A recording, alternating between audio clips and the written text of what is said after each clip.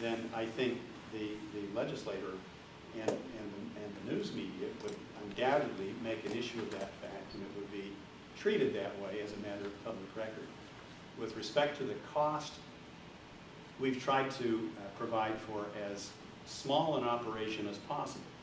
Uh, we don't we don't envision that this is going to be a full-time undertaking for anyone, except for the executive, the executive director and a receptionist and maybe a staff assistant. We don't know, but experience would certainly tell. In terms of the first question you asked, and setting up a, a, czar or some independent entity, and how does that relate to the judiciary? Um, we, we heard from someone who suggested that this was uh, un-American procedure because we specifically do not provide for judicial review. Well, there's a reason for that. One of the concerns that we understand legislators have is that there is, and, and as a former legislator, I'm sympathetic to this, there is uh, an institutional concern about the independence of the legislature properly. And so that's the reason that our state Supreme Court has declined to rule on matters within the legislature's sphere of determination under Article 10 I'm sorry, Article 6, Section 10. The legislature is the sole judge of the qualifications of its members. The state judiciary uh, won't even touch that question. They consider it non-justiciable. That's solely for the legislature to prescribe. Similarly, we believe that as to an ethical violation, there's no present provision for judicial review of a legislative inquiry with respect to a sitting legislator's conduct under the legislature's own rules. We believe that if, if I were a legislature, legislator and I had been accused of misconduct and had been found guilty of misconduct by the state senate, for example, I might file a, a complaint with the district court seeking judicial review of that legislative determination. But I can't imagine that a district court would hear that case, and I suspect that the Supreme Court, if it got that far, would very quickly say, this is a matter over which we have no oversight whatsoever, and we're not even going to consider it. I don't know if that adequately addresses your, your question. Well, it helps, like I say, you know, that, that was just one of the things, one of the first things I was reading through the, you know, the executive summary that, you know, kind of popped out. Now, we, we see this commission as a creature of the legislature. And, and so there's no misunderstanding about this. Again, I go back to the constitutional principle that the people of the state hold co-equal legislative power with the elected legislature. And if the people pass this initiative, establishing this commission as not necessarily an arm of, but within the umbrella of the legislative function, then we think that takes its actions outside of judicial review, just as a matter of constitutional separation of powers. Uh, my, my name is Mike Sackel, uh, Washington, um, just a citizen, and I'm, it's probably a very stupid question, but I, I'm ignorant of this whole process. Under the highlights of the Code of Conduct, if this initiative were passed, uh, when it says legislators are prohibited from spending campaign funds, if someone were found guilty of that, would this become a law or is it just a recommendation for this commission to, uh, for code of behavior? Well, that's not a stupid question at all. The, the initiative establishes a code of conduct by statute. In other words, that is the law. But I want to emphasize again that the initiative does not criminalize anything. We don't say that doing X, Y, Z is a criminal offense.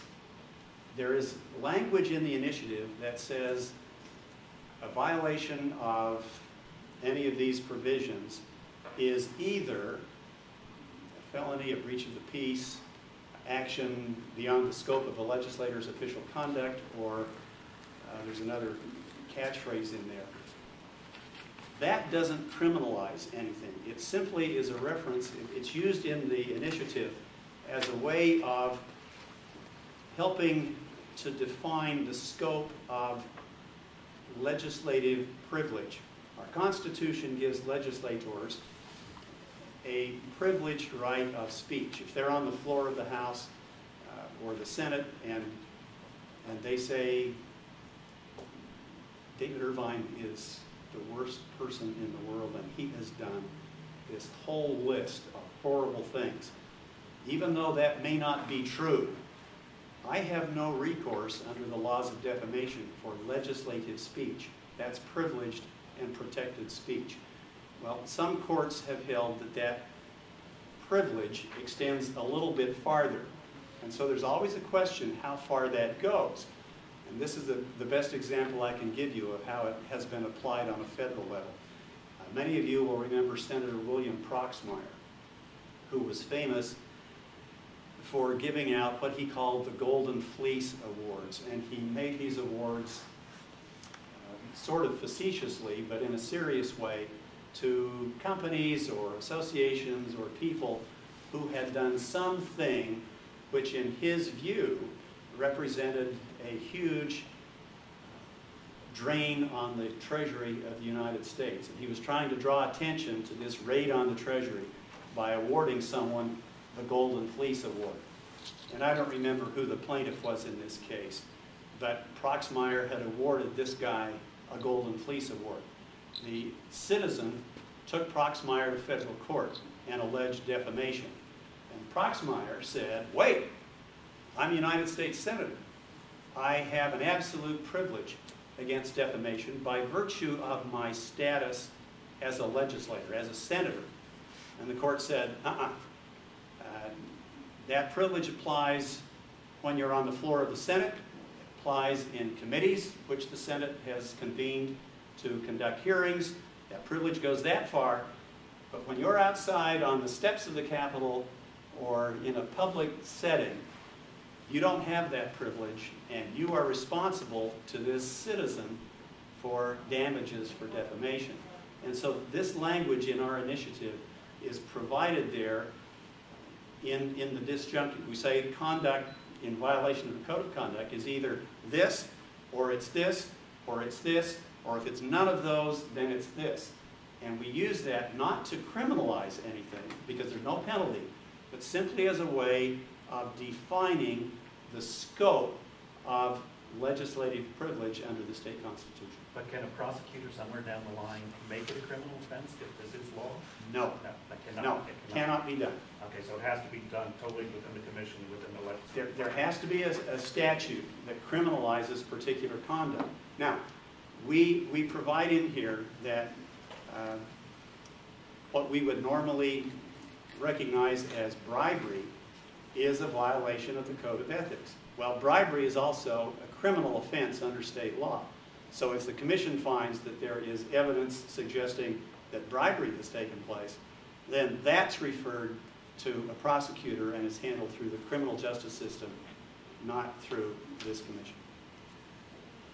And I had one more follow-up question on the same thing. Can, uh, from this point until, say, the initiative passes, can this be amended in any way?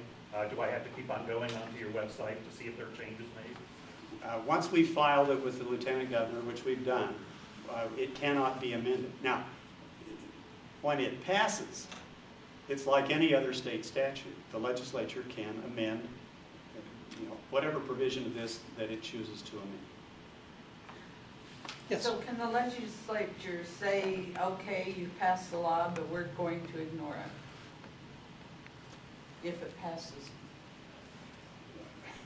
I think they would. Well, I disagree with quite that, a- disagree with that statement altogether. That would Let's definitely- go ahead I don't know, they've been pretty rambunctious lately. I, I will agree with, with uh, our, our representative, Trent. Um, They, they cannot ignore it. Um, If, if there were, as I said earlier, a determination made by the leadership to frustrate the intent of the law by failing to appoint an ethics commission, then we've provided for a default arrangement so that the commission can be appointed. And uh, under those circumstances, I think